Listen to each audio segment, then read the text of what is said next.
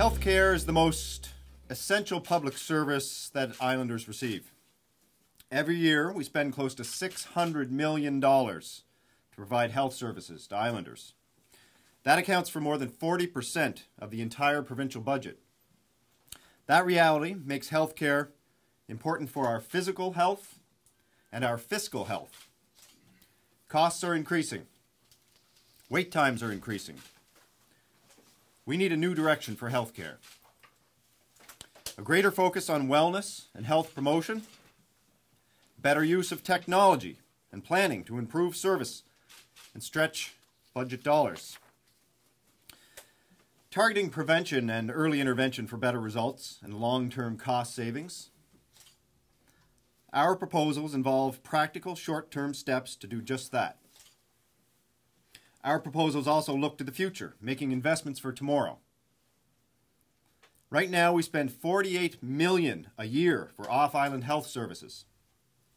That's grown by 20% just in the last two years. Yet the Auditor General says this government is doing no analysis to see if this is the best use of that money. We need to be smarter about how we spend limited health dollars on Prince Edward Island. We will engage frontline health workers for their ideas on how to innovate and better deliver services.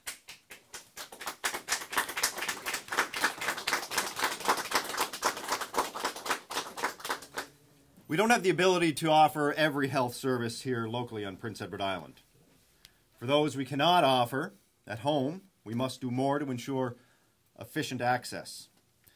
That's why we will add a dedicated vehicle for off-island patient transfers. Doing so will also help free up more resources for the local ambulance services, which can literally mean the difference between life and death in critical situations.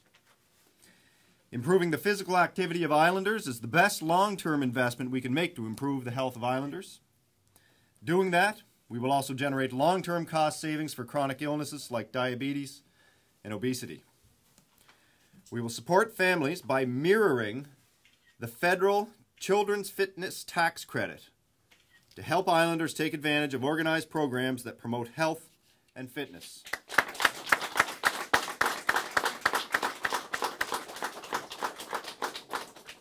We will also fund blood glucose monitoring strips for islanders with type 2 diabetes.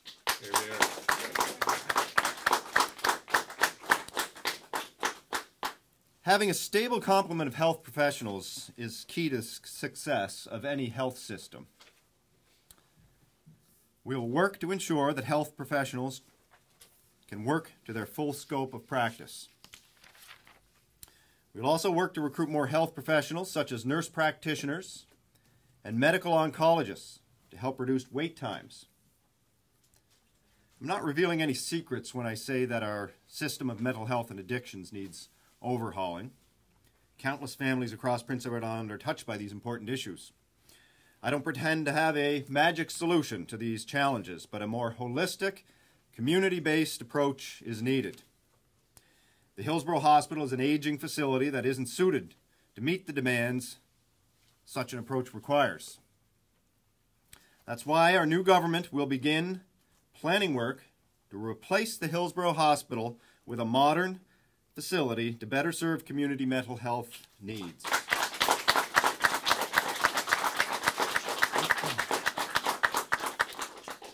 This will serve as an important building block to stronger inpatient and outpatient mental health services in our community. Islanders pay some of the highest taxes in Canada.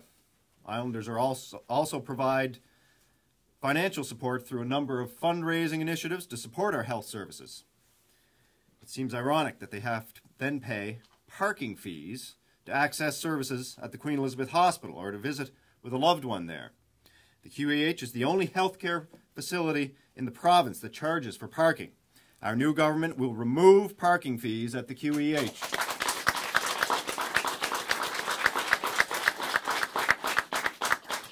We need a new direction for healthcare. Our team of candidates is made up of community-minded leaders like Michael beside me here who are motivated to make our island a better place to live, work, and invest in. Our new direction for healthcare recognizes that by engaging professionals in innovation, focusing on prevention and wellness, and spending smarter, we can improve health outcomes for all islanders. It can be done. Working together, it will be done. Thank you very much, ladies and gentlemen.